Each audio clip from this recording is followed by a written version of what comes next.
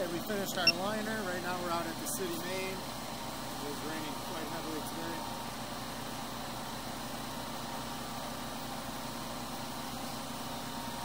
Resin slug.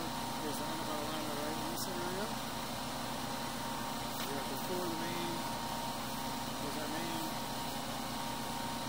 Here's the end of our liner right here. That's just a resin slug